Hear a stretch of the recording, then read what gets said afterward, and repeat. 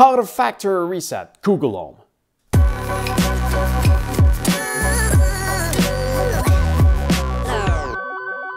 To reset the Google Home to its factory settings and log out your account, you simply have to press and hold the mute button on the back for 15 seconds. You're about to completely reset Google Home. To cancel, release the button.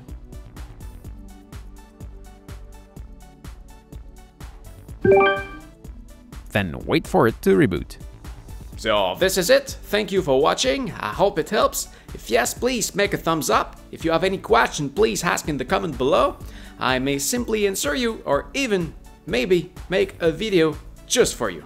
So don't forget to subscribe. And what you do see back there, it's from my main channel. So please come take a look at this right there. Thank you for watching again. See ya!